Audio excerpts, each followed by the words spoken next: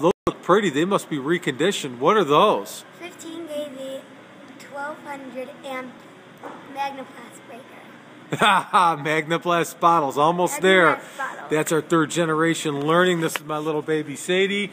And yes, you were looking at 1200 amp, 15 kV Magneblast bottles, reconditioned, going to a customer, another happy customer. Give us a call, 800 3660 or find us on the web, naswgr.com. You ready to go to lunch, honey?